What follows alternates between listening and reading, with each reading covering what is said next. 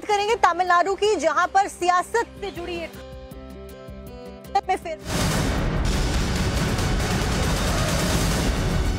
तमिलनाडु के deputy CM Udhayanidhi Stalin को बना दिया गया। उदयनिधि स्टालिन की अगर बात की जाए तो वो एम के स्टालिन के बेटे हैं। जी हाँ सेंट्रल बालाजी और जयजान भी नए मंत्रिमंडल में शामिल। R Rajendra, Thiru S M Nasar को भी जगह दी जाएगी आज शाम साढ़े तीन बजे राजभवन में ये शपथ ग्रहण समारोह भी होने वाला है। मुख्यमंत्री स्टालिन के बेटे उदयनिधि स्टालिन सनातन विरोधी बयान देने के बाद में चर्चा में वो आ गए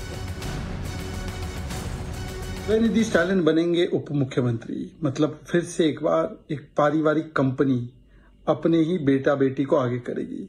ये पार्टी नहीं है, ये पारिवारिक कंपनी है। फैमिली फ़र्स्ट पर चलती है। नेशन फ़र्स्ट से कोई मतलब नहीं। Of the family for the family by the family बस। और इसीलिए अपना बेटा बेटी को ही आगे करना है। अपना परिवार। परिवार और भ्रष्टाचार इन दोनों का यही पार्टीज़ का यही पिलर है।